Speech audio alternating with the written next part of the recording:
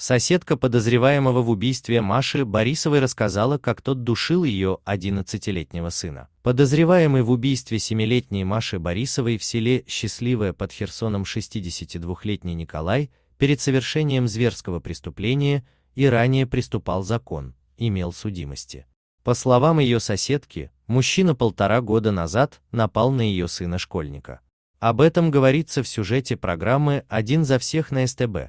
Отмечается, что в первые дни после задержания главного подозреваемого в убийстве местные жители начали рассказывать, что его жертвами были и другие дети.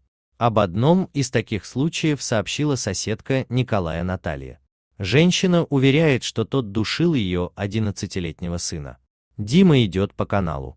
Он хотел зайти в подъезд, но перед ним стоял дядя Коля в пьяном виде и разговаривал с соседкой. Дима хотел пройти, но не получилось.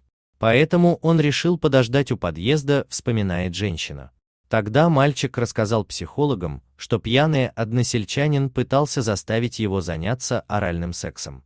После ЧП мама ребенка написала заявление в полицию.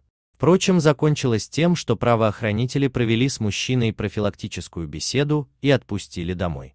Также сообщается, что живущая в РФ дочь Николая Елена тогда заявила, что подозреваемый хороший отец, а в то, что он мог навредить ребенку, она не верит.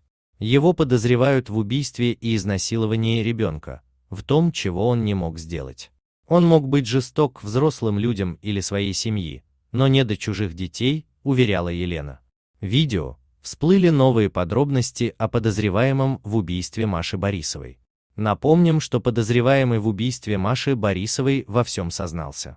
Кроме того, причастность к преступлению также подтвердила ДНК-экспертиза. Также мы писали о том, что появилось видео об убийце семилетней Маши, как он хладнокровно наблюдал за поисками девочки.